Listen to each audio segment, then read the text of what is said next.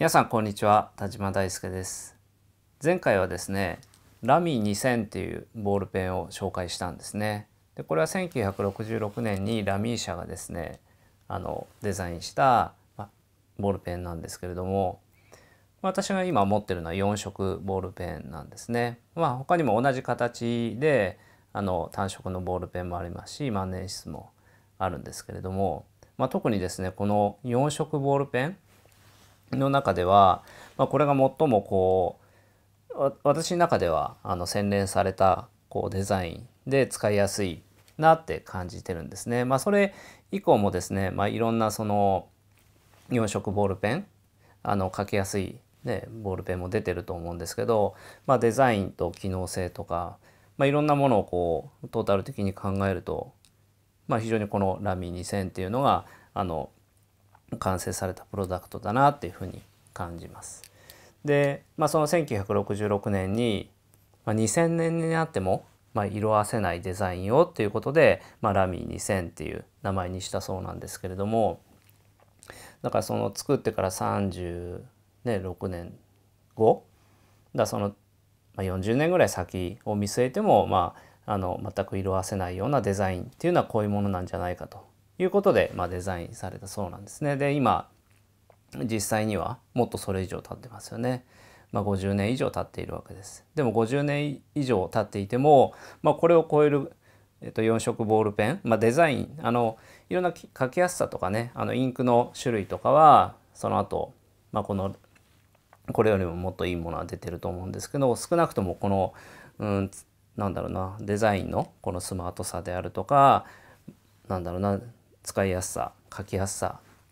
でいうと、まあ、これを超えてる4色ボールペンは、まあ、出てないんじゃないかなって感じられるほど、まあ、これは非常に完成された、まあ、1966年に発売された当時から変わっていないんですけど、まあ、だいぶそのもうその時に先を見据えて、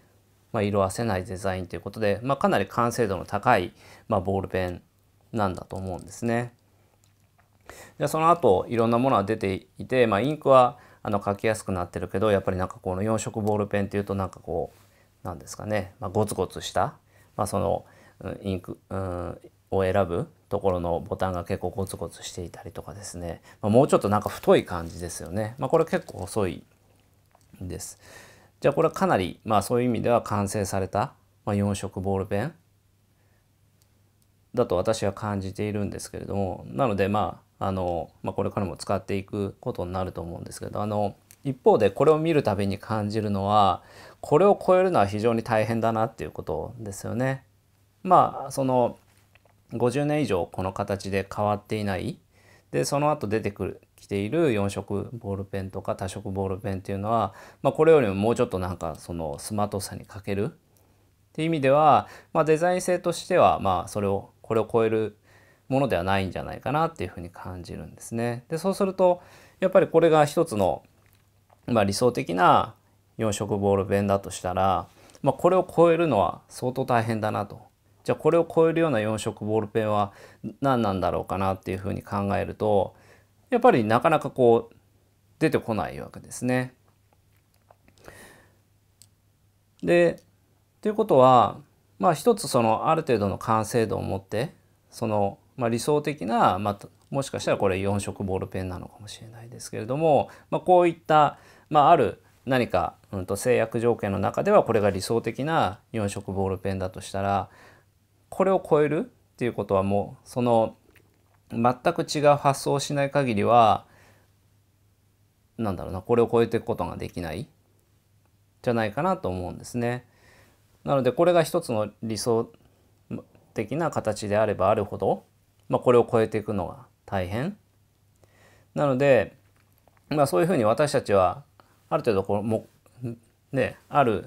これも一つの何かの制約条件がある中での、まあ、理想的な形だと思うんですけどもう一度そういった理想的な形を見てしまうともうそのそれを超えるのが難しくなる、まあ、そういった私たちは思考の枠組み、まあ、フレームの中でであとはもうねどうやってデザインするとかっこよくなるかなとかいうふうに考えるでも多分その枠組みは何も変わってない中で別の理想的な形はないかなっていうことを単に考えている。でもやっぱりある程度もう理想的になってるので、まあ、これを超えるデザインってねこの辺にボタンがあればいいのかなとかなんか青はこっちから出て赤はこっちから出ればいいのかなとかまあそういうのもねありますしね、まあ、結局は今までのいろんなものの単に組み合わせになってしまうかもしれない。で機能を増やそうと思えば思うほどスマートさに欠けていくっていうふうに考えるとなかなかやっぱりこれを超えていくのはすごく難しい。でそれは今例えばこのボールペンの話ですけれども他にもいろんなものがあると思うんですね。もう長い年月を経て、まあ、これが理想的な形だというふうになっているがためにもうそれを超えるデザインってもうないんじゃないかとかそれを超える機能ってもうないんじゃないかとか、まあ、一つのもう完成形だよね、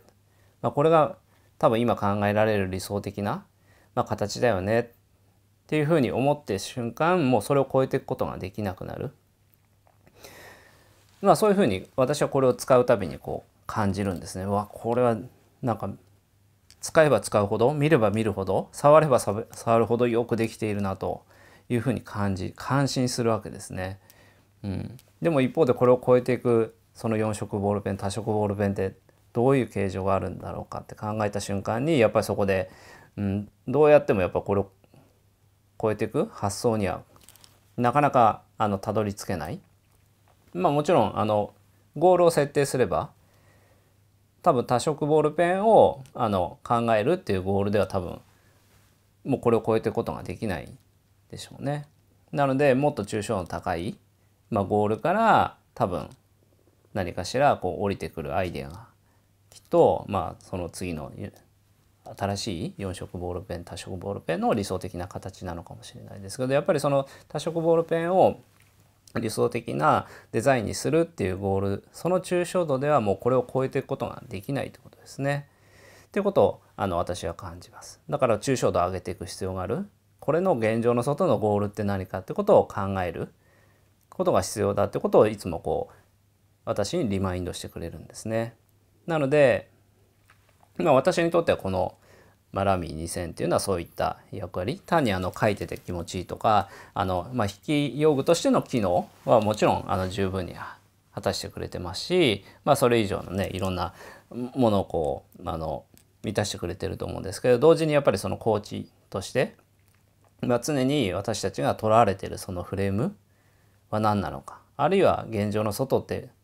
どんなゴールなんだろうか。これに対してどんな現状の外のゴール設定をすると、まあ、その次の新しい理想的な多色ボールペンのデザインが生まれてくるのかとか、まあ、そういったこうなんか自分自身の思考を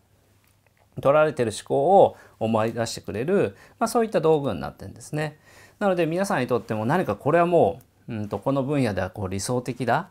もうもう完成されてるよね。なんかそういったプロダクトを皆さんの身近に置いておく、まあ、あるいは日頃からあの、うん、使ってみる。っていうのはあのそういった単にそれに対してあの素晴らしいねって感じるだけじゃなくていや待てよとこれを超えていくのは大変だなとこれの現状の外って何なんだろうかっていうことを思い出してくれるそういった機能もそういったものに持たせることができると思うんですね。是非その皆さんの、まあ、興味のある私は文房具が興味があるのであの結構たくさんいろんなあの文房具を持っています。まあ、好きであのボールペンだけでもたくさんあのこれ面白そうだなっていうとまあ、つい買ってしまう。なので、まあ、私のあの文房具の、まあ、その置き場のとこにはたくさんあのいろんな種類のボールペンがあるんですけどあの一方でみんな個性的すぎてあの、まあ、スタッフが使おうとするとですねあのどれも使いづらいって いうことがあるんですけど、まあ、そういうふうにいろんなものを試しする中でやっぱこれ完成されている。まあ、なので私はにとってはあの筆記用具がそういったあの興味のあるもので、まあ、完成されているなっていうふうに、まあ、その感じられる、まあ、ものなんですけど皆さんにとって、まあ、その好きなもしかしたらあのお料理が好きな方ではあればその調理用具かもしれないですし何か自分の趣味の中で完成された道具とかかもしれないですね。あるいはお仕事で使われている何かしらの完成されているだろうと感じられる理想的なものがあったらそれを見るたびに、まあ、それの自分自身がとらわれていることは何なんだろうかあるいはこれの現状の外のゴールは何なんだろうかっていうことを、まあ、思い出す機能をそういったものに持たせてみるといろんなものがこう自分の中で取られているその限界からこう先に進めるかもしれないですね。